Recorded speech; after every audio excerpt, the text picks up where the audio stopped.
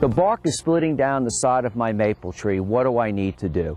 Well, a lot of times this is caused by improper pruning above this damage that you see here, or it could also have been caused by a weed eater or a lawnmower nicking the base of the tree, or it could have been that maybe you purchased a tree that the damage was already evident, but maybe you just didn't see it.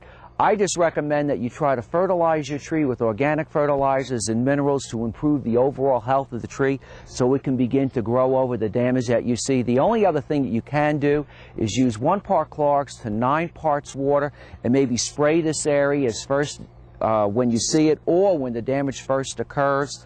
But really, the best thing to do is just leave it alone, don't seal it, and don't cover up the damage. Send or email me your gardening question to this station. I'll try to answer it next time. The Gardening Tips, brought to you by the Chandler Law Group.